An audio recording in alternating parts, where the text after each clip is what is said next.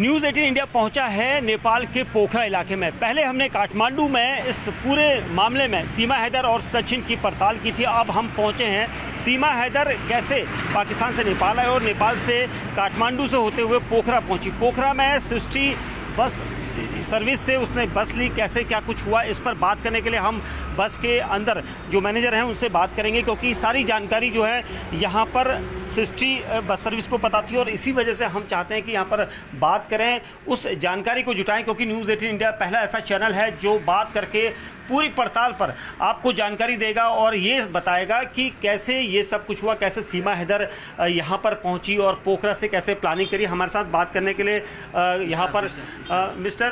प्रसन्न स्टाफ हूँ इधर। हाँ स्टाफ हैं यहाँ पर जो प्रसन्ना जी हैं। प्रसन्ना जी ये बताइए सीमा हैदर का जो आप मामला है आपने देखा होगा काफ़ी चर्चित इस वक्त है भारत और नेपाल में। तो कब ये आपके संपर्क में आए थे? कैसे उन्होंने टिकटिंग हाँ ट्वेल्थ में ट्वेल्थ में किधर से गई थी वो? इलेवेंथ में को हमारे ओनर को एक फ़ोन आया था। उन्होंने मुझे फ़ोन नंबर फॉरवर्ड की थी और मैंने उनको व्हाट्सएप पे इधर आने के लिए बोला था। हम्म। हमारा गाड़ी सात बजे से निकलता है आप इधर आइए बोला था। हम्म। और वो इधर आई और बस पे बैठी टिकट करवाई और हमने पूछा उनके पास आईडी है कि नहीं है उन्होंने बोली हाँ आईडी है। और हमने उसने टिकट करके उधर बस में बैठा दिया।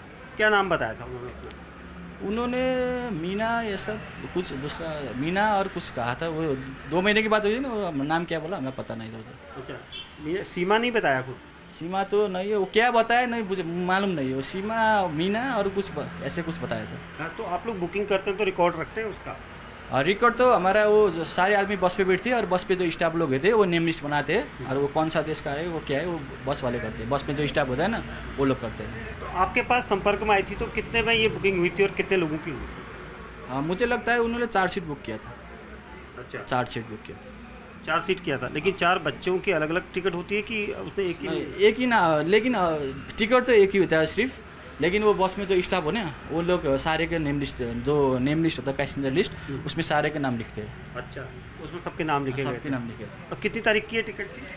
ट्वेल्थ में की टिकट थी इधर से। बारह मई हाँ बारह मई और आपने देखा होगा यहाँ पर कितने बजे ये बस चलती है? बस सुबह सात बजे निकलती है इधर से। वो सुबह सात बजे हाँ। तो दस पंद्रह मिनट पहले आई थी और टिकट करवाई। और पूछा हमारे आपके पास आईडी है? उन्होंने बोला आईडी है। और बैठी गई बस में जाकर उसने आईडी में क्या दिखाया? आईडी नहीं हम इधर पूछते हैं ड्राइवर लोग पैसेंजर लिस्ट बनाते हैं। अब हमारे भैरवा में भी एक ऑफ़िस है उधर नेम लिस्ट बनाते हैं उधर वो उधर बॉर्डर पे ना उधर भेजते हैं वो नेम लिस्ट। अच्छा तो मतलब उसके पास आईडी तो यहाँ की होगी नेपाल की होगी नहीं पाकिस्तान की आईडी थी? नहीं नहीं हमने तो बोला उसको आप हमारे गाड़ी पे सिर्फ़ इंडियन और नेपाली लोगों की लोगों की अलाउड है और दूसरी कंट्री कोई देश की अलाउड नहीं है। हम्म। हमने पूछा आपके पास इंडियन आईडी है? उन्होंने बोला हाँ इंडियन आईडी है। और बैठ गई चली गई। मतलब झूठ बोल गई। झूठ बोली क्या बोली वो हमें तो मालूम नहीं है। अपने बच्चों के क्या नाम बताए थे उन्होंने? बच्चों के नाम थे हम इधर नहीं लिखते और बस वाले स्टाफ लोग हैं ना वो टिपते उन्होंने क्या टिपा मुझे मालूम नहीं। अच्छा कितना टिकट होता है यहाँ से अगर वहाँ जाएँगे? हाँ फाइव थाउज़ेंड नेपाली है उसने कितना रुपया पेमेंट किया? हाँ उसने हमारे वो बच्चे लोग थे इसलिए हमने तो डिस्काउंट कर था कुछ डिस्काउंट कर दिया था उनको। हम्म। और उन्होंने मेरे ख्याल में बारह हज़ार रुपये इधर दिए थे कैश नेपाली रुपीज़ और बाकी जो छः हज़ार होते हैं ना वो हमारे वो दिल्ली के इंचार्ज जोन है। इंचार्ज को पेटीएम कर दिया था। पेटीएम और यूपीआई को कर दिया था। वो किसने किया था इसलिए? हाँ, इस उन्होंने कुछ अपने इंडियन वाले से कुछ के बात करवाई और हमने उनको वो जो इंडिया के हमारे इंचार्ज का पेटीएम वाला नंबर होता है ना वो नंबर भेजता और उन्होंने उधर पैसा डाल दिया। अच्छा वहाँ सचिन जो उसका प्रेमी है साथी सचिन है। कोई हमें मालूम नहीं है वो। हम्म।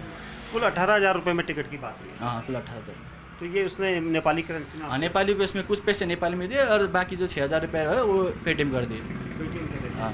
आईडी आइडेंटिटी उसने बताई नहीं डिस्क्लोज नहीं करी आइडेंटिटी हम पूछते हैं उनको आपके पास आईडी है कि नहीं है? और उधर हमारे जो बस में स्टाफ बने वो लोग सारे पैसेंजर के लिस्ट कौन सा देश का उम्र उम्र कितना है मेल है फीमेल है और नाम लिखते हैं और वो उधर बॉर्डर पे भेजते हैं। अच्छा तो यहाँ से सुबह सात बजे बस चलेगी लेकर? हाँ सुबह सात बजे ऐसे निकल गए और वो क्या हुआ हमें पता नहीं है। तो बॉर्डर यहाँ से बॉर्डर कितना दूर है? यहाँ से बॉर्डर तो दो सौ अस्सी किलोमीटर पड़ता है। कौन सा बॉर्डर से निकली आपकी बस? सिद्धार्थ नगर बॉर्डर से सिद्धार्थ नगर से होते हुए यूपी में दाखिल हुई। हाँ यूपी से और आगरा आगरा से और दिल्ली। लखनऊ आगरा दिल्ली जाए ऐसे रूट पे जाते हाँ। ऐसे रूट पे जाते हैं। रोज़ाना बस निकलती है आप लोग? हाँ रोज़ निकल निकलती है। अच्छा उस दिन जिस दिन सीमा हैदर गई थी कितनी सवारियाँ होंगी गाड़ी में? उस ड्राइवर स्टाफ ने बोला था छत्तीस लोग थे छत्तीस लोग। बस बस सैंतीस सीट होता है छत्तीस लोग आप लोगों को तो काफ़ी अनुभव है इतने समय से ट्रैवल एजेंसी आप चला रहे हैं तो हाँ। क्योंकि जो बस सेवा है ये तो हाँ। तो भारत और नेपाल के नागरिकों के लिए है क्योंकि हाँ। सिर्फ़ मैत्री सेवा बताया गया है तो इसमें ये अवैध रूप से इलीगल तरीके से चली क्या चेकिंग नहीं हुई बस की बस में तो बॉर्डर पे चेकिंग होता वो तो क्या हुआ? हमें तो कुछ नहीं मालूम है ना। हम तो सिर्फ़ बोलते हैं आपके पास आईडी होना है। हम नेपाली लोग हो और कोई इंडियन लोग हम हम उन्हें बोलते हैं आप नेपाली लोग होते तो नागरिकता नागरिकता नेपाल का नागरिकता वो लेके जाने बोलते और इंडियन लोग है तो आपके पास आईडी है वोटर आईडी अथवा आपके पास आधार कार्ड कोई भी हो वो आपको बॉर्डर में दिखाना पड़ेगा। हम सिर्फ़ इतना कहते हैं। अच्छा तो आपने बताया कि उसने बताया था कि आप उसके पास इंडियन वोटर आईडी कार्ड है या आईडी जो भी है। हमने बोला उसको तुम्हारा आप आपके आपके पास आईडी होना चाहिए आपके बॉर्डर में दिखाना पड़ेगा एक आता है उसके पास नहीं थी लेकिन उसने बोल दिया कि इंडियन आईडी है। हाँ, बोला और कुछ उसने झूठ बोला और क्या बोला हमें कोई मालूम नहीं। अपने को भी इंडियन बताया था हाँ इंडियन बताया था। हमें हमारे गाड़ी में सिर्फ़ इंडियन और, और दूसरा इंडियन और नेपाली बैग दूसरा कंट्री के नहीं लाने का अच्छा। परमिट पे ही वही बताया परमिट ही वही होता है। तो यहाँ पर अगर आईडी चेक कर लेते तो यहीं रोकी जाती है। ना वो आईडी दिखाती है तो हम हम तो सिर्फ़ बोलते हैं ना उनको आपको बॉर्डर पे दिखाना है और आईडी को लिए तो हमको कुछ मालूम नहीं है। तो ये बॉर्डर पार करके कैसे निकल गए क्योंकि आपने बोला आईडी वहाँ पर चेक होती है। आप यहाँ से एक लिस्ट भेजते तो हैं। हमारा कुछ मालूम नहीं है वो क्या कु- डी देखा क्या आईडी दिखाया कैसे वो हमको तो स्टाफ लोग जानते हैं वो लोग। उस बस में गई थी तो उस बस के ड्राइवर और कंडक्टर कौन थे ड्राइवर हमारे इधर भी ड्राइवर ही थे। वो अभी इंडिया में ही है। अच्छा इंडिया में है? दिल्ली में ही है। दिल्ली में? हाँ दिल्ली में क्या बस आज लेकर गए हैं या वहीं पर है? नहीं वहीं पे दो चार दिन से दो दिन पहले गए थे वहीं पे। अच्छा उनसे पूछताछ हाँ, पूछताछ हुई है। ना? हाँ। और ड्राइवर और कंडक्टर दोनों से हो रही है? हाँ हो रही है मुझे मालूम नहीं वो तो क्या नाम है उनके? देवेंद्र है क्या नाम है? ड्राइवर का? राजू अधिकारी। राजू अधिकारी राजू और रामचंद्र कुछ है ऐसा। अच्छा तो आप लोगों के पास भी फ़ोन आया कोई पुलिस की टीम यहाँ पहुँची आपके पास? इधर तो नहीं लेकिन दिल्ली ऑफ़िस पे पहुँची थी। हमारे दिल्ली ऑफ़िस है उधर पहुँचे कहाँ पर है दिल्ली सरोजी नगर वहाँ पहुँची हाँ? पहुँचे कब पहुँची कब पहुँचते नहीं हो लेकिन उन्होंने कहा था पुलिस आई है इधर बोले दिल्ली ऑफ़िस पे। आज आइए कल आइए आज नहीं मुझे मालूम नहीं दो चार दिन पहले आई थी। और ड्राइवर और कंडक्टर से आज पूछताछ हो रही है नहीं नहीं दो तीन दिन पहले हो सके। मुझे वो तो मालूम कुछ मालूम नहीं है वो किधर पहुँचे किस कितनी टाइम मिला बस पास हुआ मुझे मालूम नहीं है। ये भी जानकारी मैं तो सिर्फ़ इधर काम करने वाला हूँ मैं आप टिकट करवाता हूँ और आप आपके पास बोलता हूँ आईडी पास होना चाहिए और बैठते हैं और मैं तो वही सिर्फ़ इधर का स्टाफ हूँ इधर का। अच्छा इससे मतलब जो आपके ओनर है उनका क्या नाम है? उनका नाम कृष्ण प्रसाद पवेल है। क्या वो भारत के हैं? नहीं नहीं नेपाली नहीं है। नेपाल क्या उनसे भी कोई फ़ोन वगैरह कोई कांटेक्ट वो होगा होगा मुझे मालूम नहीं है वो- वो मुझे- मुझे डिटेल्स में मालूम नहीं एक फ़ोन के ज़रिए आप दिखा रहे थे कि उस पर तो हमने सिर्फ़ बोला था उनको इधर आने के लिए। उधर लोकेशन उन्होंने बोला मुझे मालूम नहीं है किधर आने के लिए। हमने बोला था उनको इधर आइए। इधर से बस छूटता है इधर सुबह सात बजे आइए इस ही गया था उसमें। कब आया था मैसेज?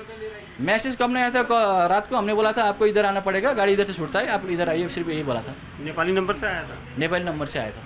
अच्छा। हाँ। तो उसके बाद वो लोग यहाँ पर आए और निकल आए टिकट करवाया और हमने पूछा आइडिया कि नहीं वो लोग आए और बैठ में बैठ गए चले गए और बाकी लोग तो क्या हुआ अब स्टाफ लोग को बताए। रात को यहाँ किस होटल में रही थी वो मालूम नहीं है मालूम है सुबह इधर टैक्सी पे आई थी और मालूम नहीं है मुझे वो कौन से होटल पे क्या रुकी अच्छा। तो अब कोई रिकॉर्ड आप लोग दिखा सकते हैं कि जो कोई नाम तो हमारे वो स्टाफ के पास होता है वो कितने आदमी लेके गए नाम कित क्या क्या नाम के लेके गए वो स्टाफ के पास होता है इधर नहीं कुछ नहीं होता है। आपको लगता है कि उसने भारत और जो नेपाल के मैत्री संबंध हैं जो बस से वो आ जाती है उसका गलत इस्तेमाल किया है? किया होगा तो तो अब क्या हुआ वो दाखिला ही नहीं हो सकती ना अगर पाकिस्तानी और कुछ दस कंट्री के होते तो कुछ दिखाया होगा बॉर्डर पे। तो शुक्रिया हमसे बात करने के लिए। प्रसन्ना गौतम हैं जो यहाँ पर स्टाफ हैं और इनके ज़रिए ही यहाँ पर सीमा अदर पहुँची थी और इन्होंने जब आईडी मांगी, क्योंकि इनका ये दावा है कि यहाँ पर हमेशा भारत और नेपाल के ही नागरिकों की यहाँ से आवाजाही और जैसे भारत गए हैं नेपाल के नागरिक और नेपाल से भारत आए हैं। और भारत से नेपाल आए हैं। इन्हीं नागरिकों को यहाँ पर परमिशन होती है क्योंकि उनके आईडी कार्ड से ही काम चल जाता है। लेकिन सीमा हैदर जब यहाँ से निकली थी तो उसने खासतौर से प्रसन्ना गौतम को व्हाट्सअप किया और व्हाट्सअप करने के बाद उन्हें दिखाया कि यहाँ पर जो है वो यहाँ पर आएँ और यहाँ पर से टिकट लें। प्रसन्ना जी एक चीज़ और पूछनी थी अगर वो व्हाट्सअप दिखा सके हमारे दर्शकों को आपके पास कल आप दिखा रहे थे तो थोड़ा सा हम चाहते हैं कि हमने उस पर कुछ नहीं किया था हमने बोला उनके इधर आने के लिए इधर से गाड़ी लोकेशन भेजा है इसलिए और कुछ नहीं बात नहीं लोकेशन भैया शुक्रिया हमसे बात करने के तो प्रसन्ना गौतम ने ये खुलासा किया कि जो उन्होंने दावा किया कि उनके पास इंडियन आईडी है और इसी वजह से सीमा हैदर अपने चार बच्चों के साथ यहाँ से भारत की तरफ़ चलेगी। बॉर्डर पर हालाँकि सुरक्षा चेकिंग होती है, लेकिन जिस तरह से प्रसन्ना ने बताया कि उनकी तरफ़ से यहाँ से पूरी जाँच परख जाती है, आईडी पूछा जाता है, आईडी होती है तो आईडी के साथ बिठा दिया जाता है, लेकिन चेकिंग जो होती है वो सीमा पार यानी बॉर्डर के पास होती है। बॉर्डर पर चाहे वो एसएसबी नेपाल हो या फिर भारत हो, वहाँ पर चेकिंग होती है वहाँ पर कैसे चेकिंग की गई? क्या किसी एजेंट के थ्रू वो पार हो गई या फिर बस चालक ने किसी से बात करवाई? ये सारी जो है अभी जाँच चल रही है। वहीं प्रसन्ना जी क्या कोई एजेंट भी और था? कोई आपसे कॉन्टैक्ट था उसका? नहीं नहीं कोई कांटेक्ट नहीं है मेरे पास मालूम नहीं। कोई और नंबर था आपको नहीं नहीं नहीं लिए ना? मालूम- नहीं आया कुछ उसके। पति का दिल्ली से उन उन्होंने हमारे जो ओनर साहब है पहले उनको फ़ोन आया था। उन्होंने मुझे बोला कि उन उसको लोकेशन भेज दो वो कल दिल्ली जा रही है। दिल्ली जाने के लिए टिकट पूछ रही है उनको लोकेशन भेज दो बोला था उनने और हमने वही किया था सिर्फ़। अच्छा।